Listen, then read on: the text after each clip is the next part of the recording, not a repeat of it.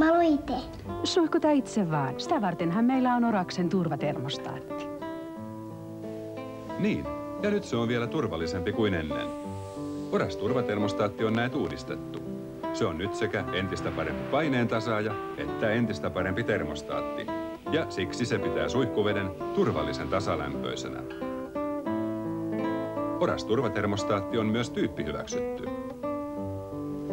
Hyviä suihkuja vaan!